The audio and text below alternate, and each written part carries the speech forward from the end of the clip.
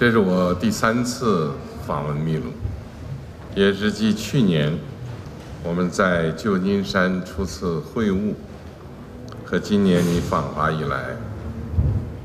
我在一年时间内第三次同总统女士会晤。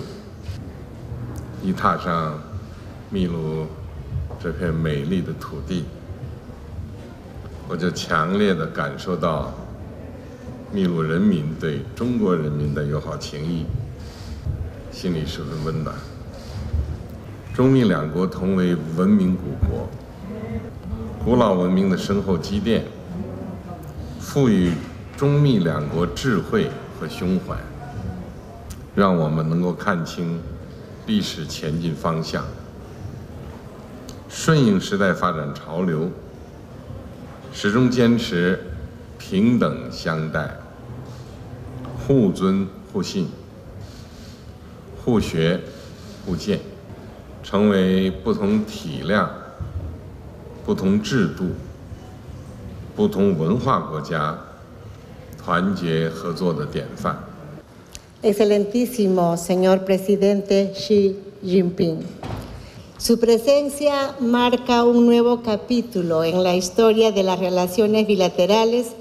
que cultivamos desde hace 53 años y que mantenemos firme a través de nuestra asociación estratégica integral y nuestra adhesión a la iniciativa La Franja y la Ruta.